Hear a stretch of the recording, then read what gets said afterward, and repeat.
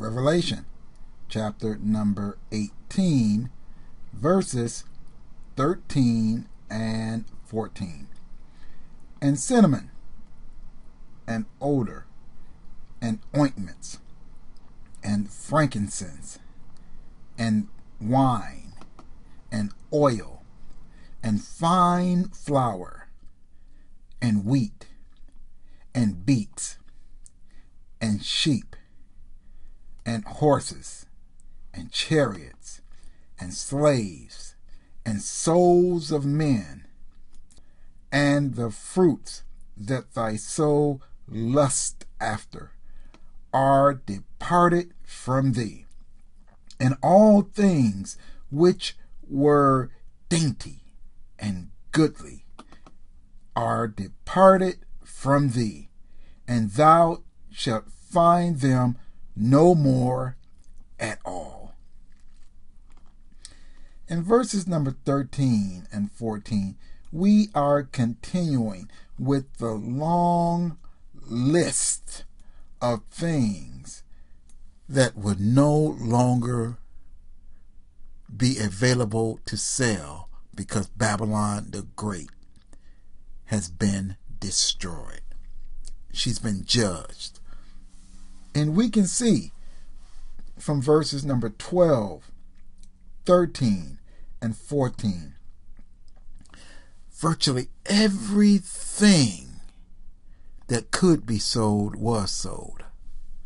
You're talking from gold, precious stones, silver, you're talking linen, clothing, fabric, different types of wood, ivory. Then it goes to spices, brass, spices, ointments, frankincense.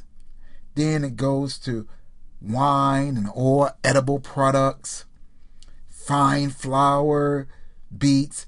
Then it moves on to animals, sheep, horses, chariots. And it even goes on to individual slaves and souls of men. Then it wraps up the fruits that thy soul lust, all type of delectable things could no longer be sold because Babylon the Great has fallen. This is a long list, more than likely, of how inclusive the mark of the beast will be. No one will be able to buy or sell without this mark. And these verses gives a detailed list, some of everything.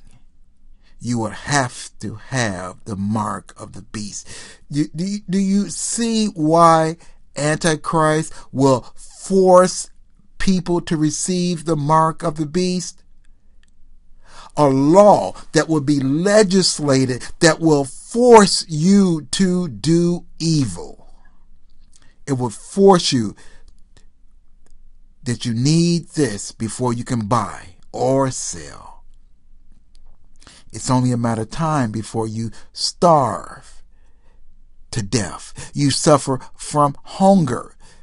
You suffer from the elements.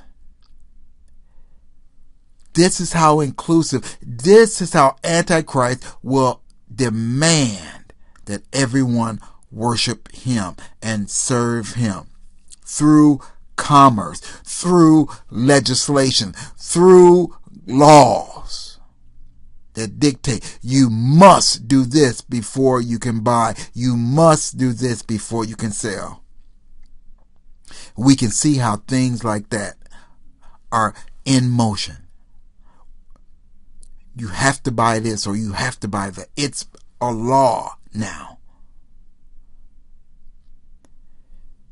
free society, purchasing from whomever you desire, we can see where that's rapidly is being changed. And we can see in Antichrist Day how that will be completely eliminated.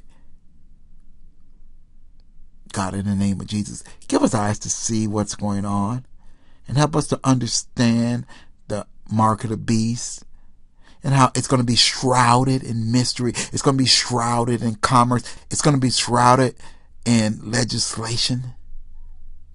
Help us to seek you, God. In the name of Jesus, we pray. Thank God. Amen.